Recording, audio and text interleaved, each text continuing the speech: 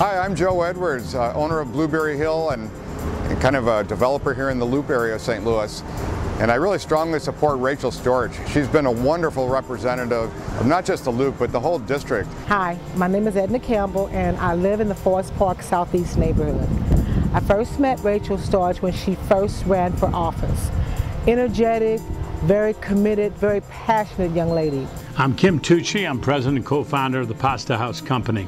I've been involved in politics now. This is my, to be official, it's my 27th year.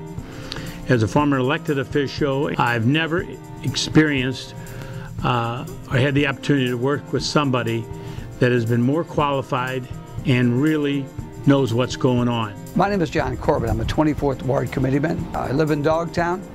Uh, my family's been here 100 years.